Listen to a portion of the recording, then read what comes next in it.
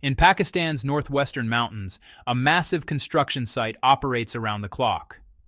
Over 8,000 workers are racing to complete what will become one of South Asia's most strategically significant infrastructure projects, a hydroelectric dam with a $2.2 billion price tag that could fundamentally reshape the region's energy and water security landscape. Six years into construction, the Mohmand Dam has now reached its most critical phase, and its implications extend far beyond Pakistan's borders. Pakistan ranks as South Asia's second most populous nation, home to 240 million people whose electricity demands continue to surge year after year. In 2023 alone, the country consumed 104 terawatt hours of electricity. Yet this staggering figure still falls dramatically short of what the nation actually needs. The power deficit currently exceeds 5,000 megawatts, leaving roughly 40% of Pakistan's population without reliable access to electricity. Even in Islamabad, the capital city, summer blackouts have become so routine that residents plan their lives around them. In rural regions, power availability remains unpredictable at best. Hospitals stock diesel generators as essential backup equipment, knowing the grid cannot be trusted. This chronic energy crisis extracts a brutal economic toll.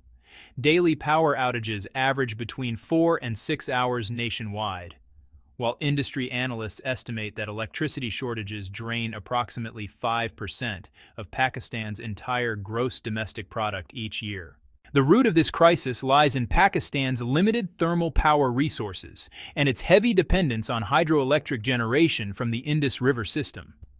The largest dam affecting this crucial watershed is the Baglihar Dam, which boasts an installed capacity of 969 megawatts.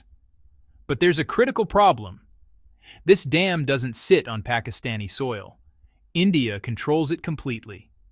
This geographic reality means that a significant portion of Pakistan's energy lifeline rests in the hands of its neighbor and geopolitical rival.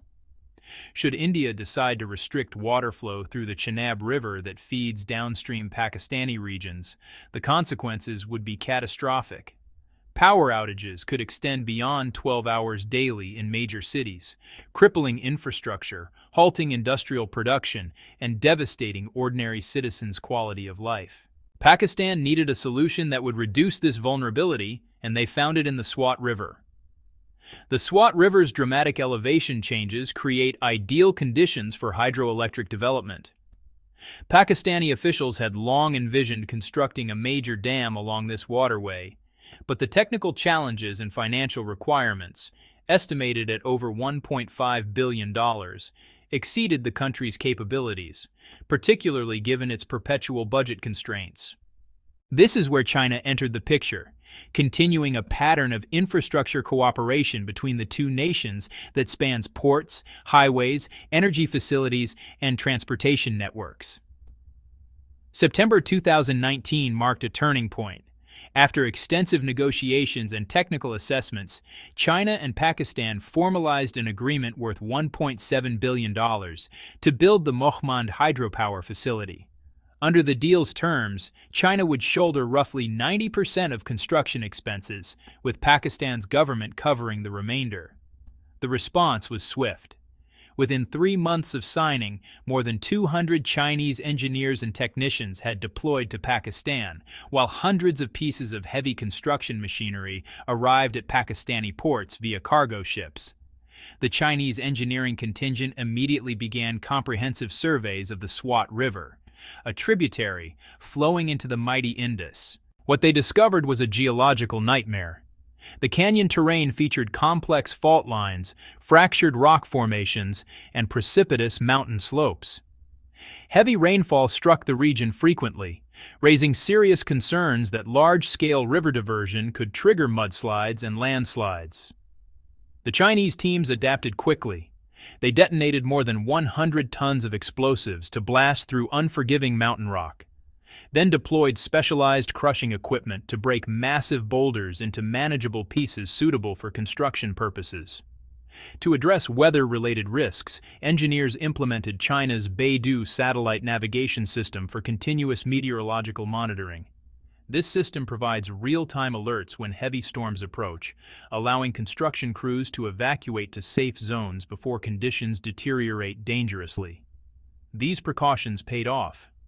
By August 2022, after nearly 12 months of intensive work, the team successfully completed the river diversion project, redirecting the Swat River's flow as planned. But completing the diversion was just the beginning. The construction site presents extreme environmental challenges that would defeat less experienced teams. Summer temperatures soar to 50 degrees Celsius, while winter snowfall can completely shut down road access. Chinese engineers deployed cutting-edge solutions to maintain progress despite these obstacles. They operated unmanned rollers with precision guidance from Beidou satellites, achieving compaction accuracy within 2 millimeters for each stone layer. For the riverbed's 94-meter-thick layer of loose sediment, they implemented a sophisticated combination of concrete anti-seepage walls and curtain grouting to strengthen the dam foundation's waterproofing capabilities. Environmental protection remained a priority throughout construction. The Chinese teams planted extensive tree coverage across the construction zone and established ecological fisheries to minimize the project's impact on local ecosystems. As these technical and environmental challenges fell one by one, the Mohmand hydropower station advanced into its most intensive construction phase. The project's specifications are genuinely impressive. The dam follows a concrete face rockfill design, standing 213 meters tall and stretching 717 meters in length, with a crest width of 12 meters. Total installed generating capacity will reach 800 megawatts. 110 megawatts more than India's notable Baglihar facility. Upon completion, the station will produce 2.9 billion kilowatt hours annually, sufficient to provide consistent electricity for approximately 1.5 million households. Power generation represents only one dimension of this project's value. The Mohmand Dam will also deliver irrigation support, drinking water distribution, and flood control capabilities. Its water resource management functions are particularly significant. The facility's total storage capacity will reach 1.8 billion cubic meters, enabling delivery of 150 million cubic meters of drinking water each year to surrounding communities while irrigating 20,000 hectares of agricultural land. Economic analysts project the dam will generate direct economic benefits exceeding $400 million annually. Yet this apparently beneficial infrastructure project has triggered deep strategic anxiety in New Delhi. To understand why requires examining India's historical control over the Indus River system. India's geographic position in the upper watershed regions gives it command over approximately 65% of the Indus Basin's total water flow. This upstream advantage provides India with the ability to weaponize water resources during political confrontations. Before the Mohmand project, India had constructed 12 dams across three western tributaries of the Indus system, including the Jhelum and Chenab rivers, maintaining firm control over these vital water sources. In May of this year, India's Ministry of Water Resources unilaterally announced suspension of the Indus Waters Treaty, a foundational agreement governing water sharing between the two nations. Satellite remote sensing data revealed that six key sluice gates in India's Jammu region closed almost simultaneously, causing water flow in several major rivers flowing through Pakistan's Punjab province to plummet by 89%. Approximately 4 million acres of wheat crops faced drought conditions. Along the lower Chenab River, exposed and cracked riverbeds appeared within days of India restricting the water supply. Although both sides eventually negotiated a ceasefire, India has not resumed full compliance with the Indus Waters Treaty. The Mohmand hydropower station, once operational, will significantly diminish India's leverage over water resources. Unlike conventional hydroelectric facilities built on main river channels, Mohmand sits on the Kabul River tributary, which originates in Afghanistan. This strategic positioning allows Pakistan to avoid direct dependence on India's control of the upper Indus River.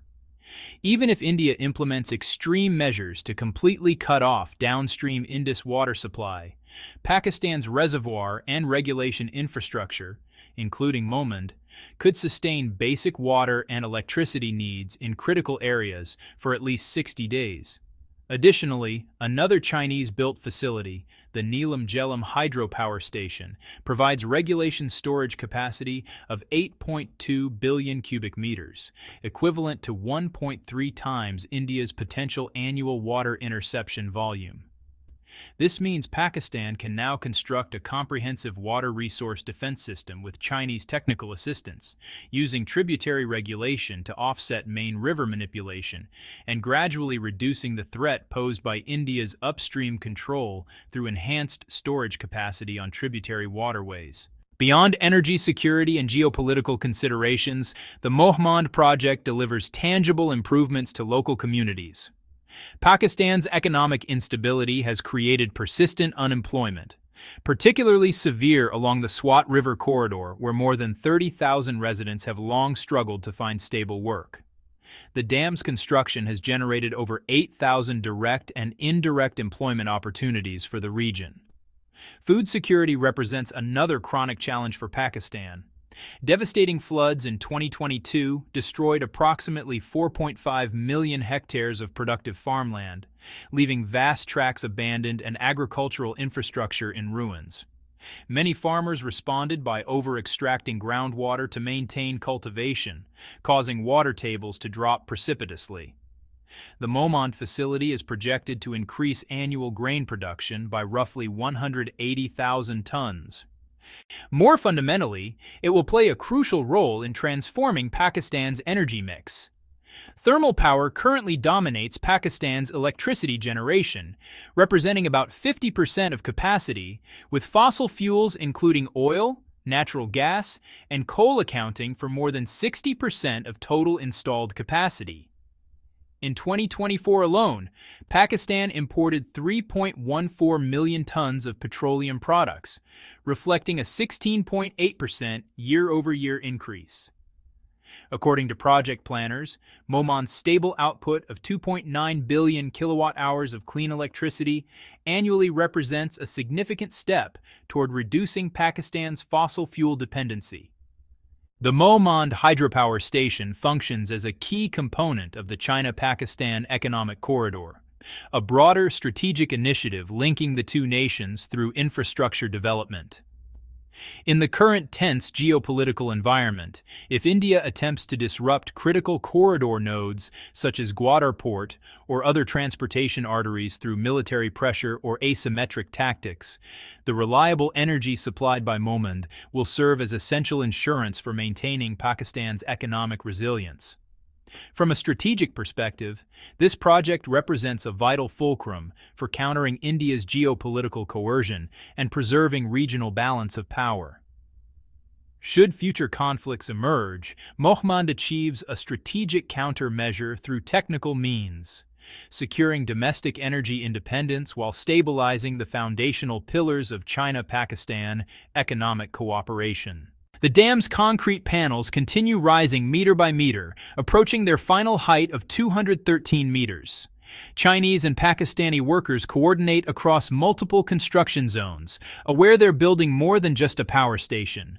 They're constructing a shield against water weaponization, an engine for economic development, and a symbol of infrastructure cooperation that transcends the traditional donor-recipient relationship.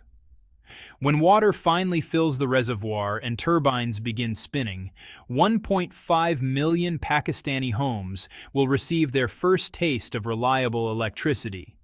Farmers will irrigate crops without depleting ancient aquifers. Industries will operate without fearing the next blackout. But perhaps most importantly, Pakistan will have demonstrated that geographic disadvantage need not equal perpetual vulnerability. Through strategic infrastructure investment and international partnership, nations can engineer their way toward greater autonomy. The Mohmand Dam stands as testament to a simple but powerful principle. Control over essential resources, whether water, energy, or food, determines not just economic prosperity but national sovereignty itself. As climate change intensifies competition for diminishing water resources across South Asia, projects like Mohmand may well represent the difference between stability and crisis, between development and dependency, between a nation that shapes its own destiny and one whose future remains hostage to the decisions of others.